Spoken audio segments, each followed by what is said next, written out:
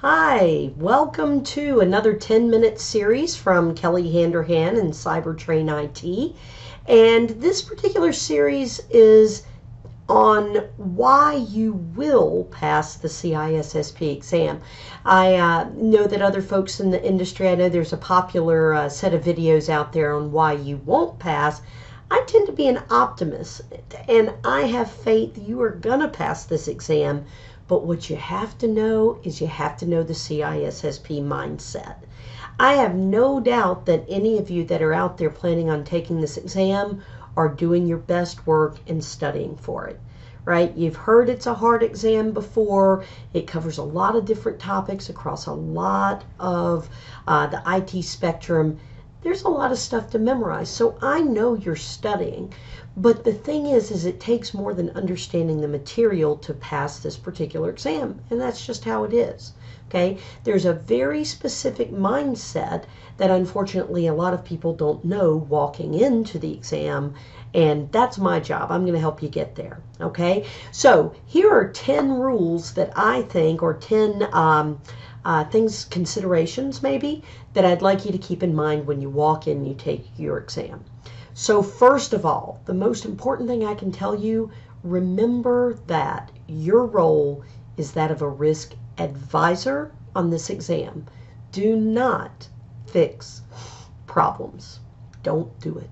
You're going to be tempted. Most of us have our jobs because we're problem solvers. We know what to do, we know what to fix. That is not your role on this exam. Your role on this exam is to collect information report that information to senior management, give them your advice based on risk management, and we'll talk about that in a second. The choices and decisions come from senior management down. You can think of the idea that escalations go up, decisions comes come down. So an example of this, for instance, if on the exam you see that uh, one of our employees is getting terminated and we expect it to be a contentious termination, what's the first thing you should do? And I'll guarantee you 90% of folks out there are going to say, oh, revoke their credentials. But that's fixing a problem. If I'm truly your company's risk advisor, when do I go down to the basement, log onto a server, and disable an account? I don't, right? What do I do? I call and advise the appropriate parties. I have influenced policy within your organization to have a set of processes and procedures. But I, or read into this, you on this exam are not a doer. You're not a worker bee. You are a manager and you should act accordingly. This is not the type of exams exam where you're blocking ports on firewalls, you're blocking user access, you're disabling accounts. You do none of that. An advisor or a chief uh, risk officer, um, a CISO or an ISO, kind of think about those uh, as your role on the exam when you're taking the exam, you don't do the hands on anymore. But you have to understand enough information about the hands on to make good uh, suggestions to senior management, okay? Don't fix problems. Everybody's tempted to. That's where my folks that study really hard and are really solid technical people mess up. They know how to fix the problem, so they fix it. But that's not your role. One other quick thought here is when you just rush in and fix a problem, excuse me, you're violating change control. Right? There should be a specific set of steps on how you approach changes in your organization. If everybody's just jumping to their feet, running around fixing problems, we don't have the control over those changes. We don't have documentation. We don't have rollback strategies. You know, um, we don't have proper testing. What if I were to just patch systems in my organization every time Microsoft released a new patch? That might not be the best thing for my career. You know, hopefully you can agree on that. So the idea is running around fixing problems violates change control. What we want to do is pay attention to the process and then the problems will fix themselves. Okay, so that's the first, that's the most important thing I can tell you. Second thing, who is responsible for security? We've all heard everyone's responsible. Not true. When you hear that idea of responsibility, I want you to think culpable negligence. Okay? Who is held legally responsible for the security of an organization? Senior management. But don't we all have responsibilities? Sure. My responsibility is to follow policies and procedures as laid out by senior management. Okay, so make sure, again, going back to the idea that our job is to advise senior management, but they make the decisions. Why? Because they're ultimately responsible. Now, on three, um, this is another question I tend to ask my classes, and a lot of folks get this wrong. The question is how much security is enough? And sometimes we hear, oh, you can never have enough security. Sure, you can. You have too much security when you're spending more to protect an asset than that asset's worth. Right? I'm not going to spend $50 to protect a $20 bill. So even though you may hear, oh, you can never have enough security, you need, and, and I say this in my classes, and people always look at me, you know, a little like I'm a little shady when I say, you know how much security is enough? Just enough. Just enough security is enough. Now, many people think I'm saying, oh, cut every corner you can and, you know, see, do as little as you can get away with. And that's absolutely not. What I'm saying is, you need to know exactly how much just enough is.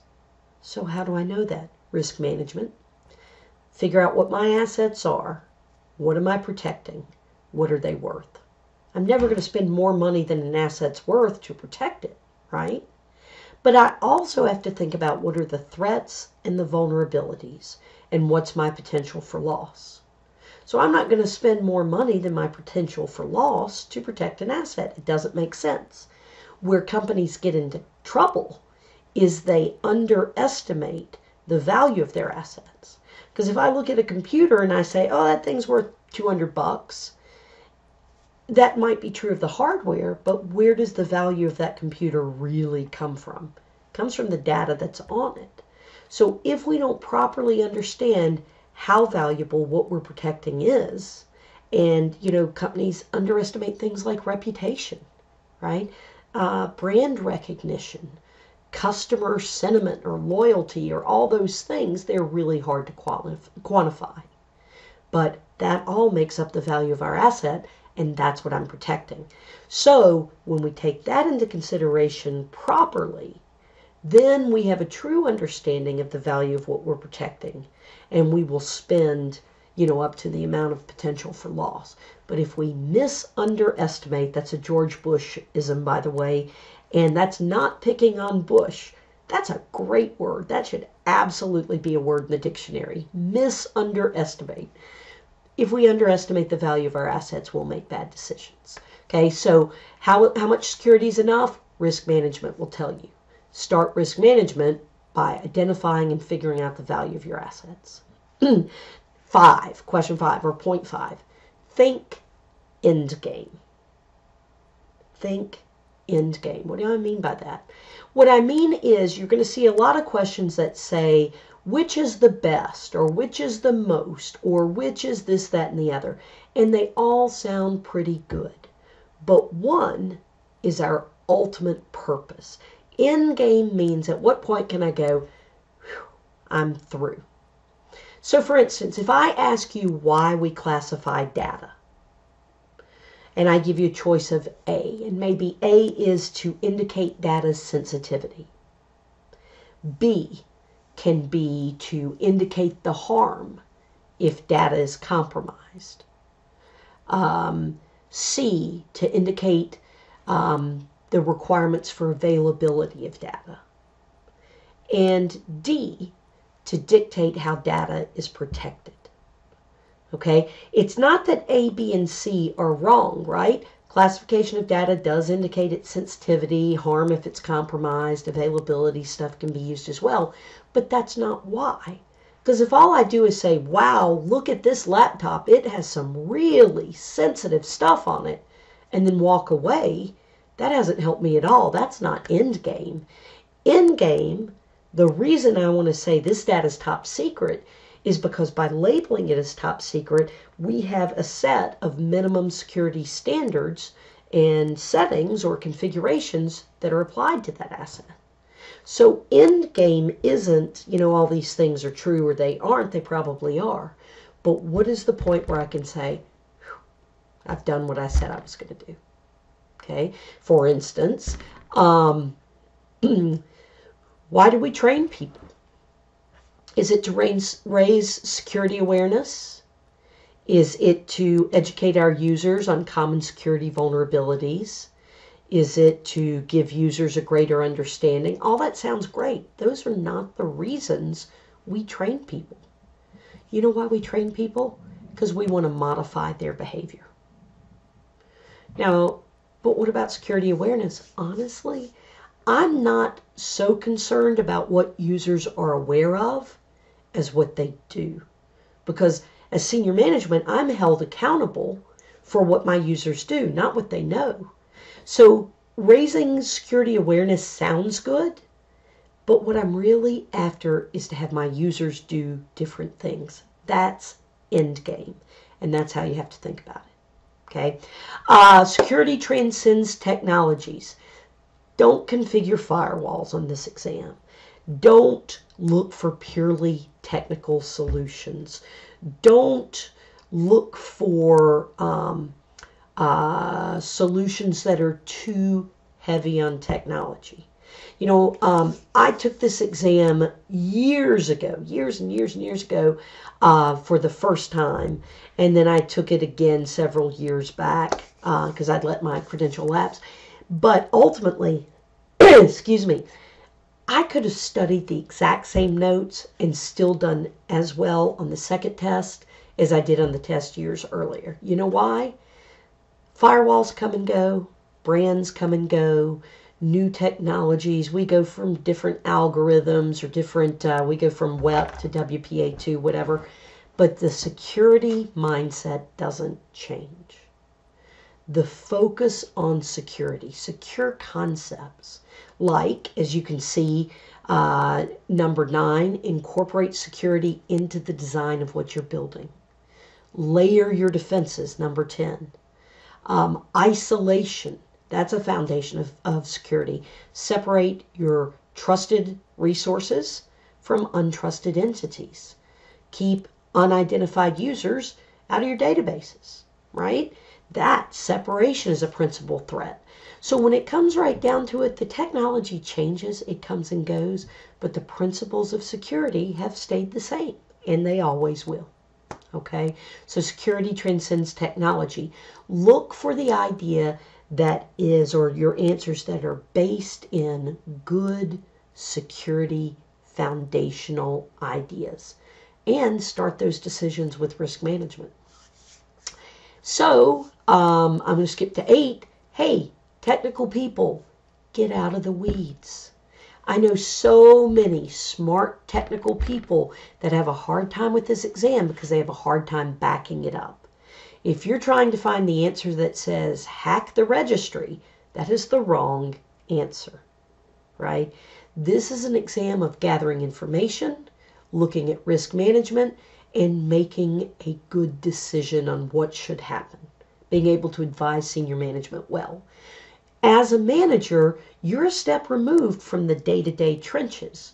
And I know that that may not be your real job. I know that you really may be a technical person, an engineer, whatever that may be. Not on this exam. Think like a manager.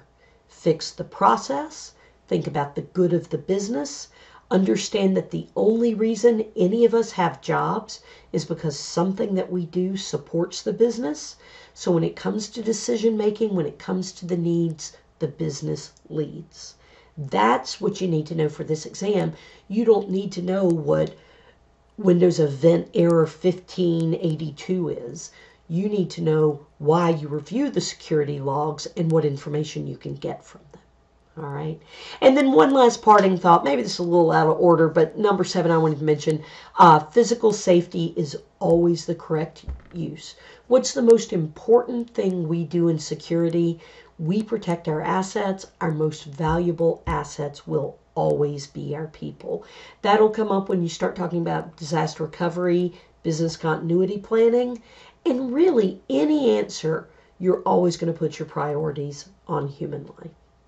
All right, so just to sum up, these are 10 principles that I think you really need to know walking into the CISSP exam.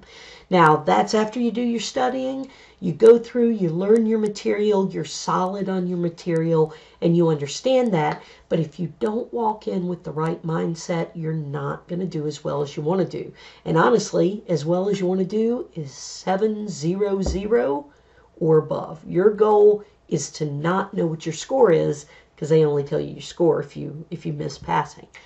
I have faith that you've studied, but what I know that a lot of people miss are these 10 aspects of the mindset you have to have walking into this exam particularly. There's a very specific train of thought or school of thought to pass the CISSP exam, and I think if you follow these rules, they will help you tremendously. So I want to thank you for taking the time for watching. Uh, I'm Kelly Handerhan again, and cybertrain.it is my organization that I work with. Um, you can reach me at Kelly H at cybertrain.it. I would love it if you'd come like our face our Facebook page. I'm going to be releasing these 10 minute series uh, roughly several times a week, and hopefully I can help you as you strive to um, tackle some of these certifications.